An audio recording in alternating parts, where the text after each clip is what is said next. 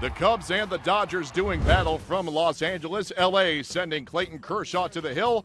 He looked good in the early going. In the first, Anthony Rizzo caught looking at strike three. In the second, Alfonso Soriano swing and a miss. And then Jeff Baker stares at strike three. Kershaw off to a very good start. But he's trailing 1 0 by the fourth inning. His teammates looking to pick him up. Man aboard for Matt Kemp facing Chris Volstad.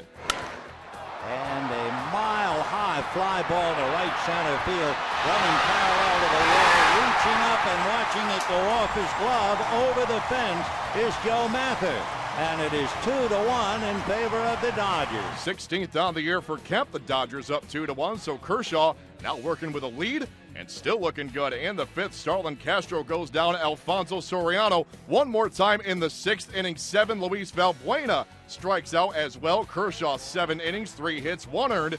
He strikes out seven. Let's take it bottom eight. James Russell on in relief for the Cubs, facing Hanley Ramirez with runners on the corners. And there's a hopper hard under the glove of Castro. That could have been the third out. Victorino scores, and the Dodgers lead three to one. Some insurance there for the Dodgers. The lead now two as we go top of the ninth.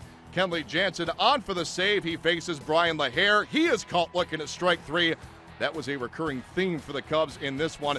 Dodgers close out the 3 1 victory. Clayton Kershaw, his ninth victory on the season, now 9 and 6. Jansen, his 21st save, and Chris Volstad, meantime, his struggles continue. He is 0 8 this season and winless in his last 21 starts.